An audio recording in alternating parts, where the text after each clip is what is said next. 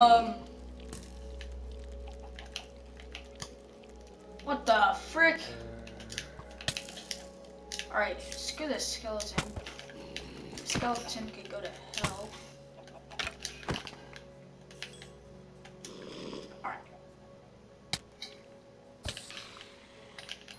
Oh, no, no, no, no, no, no, no. Why are you getting on a chicken now, Downy? Jesus. Okay, um... I was just trying to go back to my house so I could sleep and put some stuff in the safe bunker. But apparently that happened. Cool.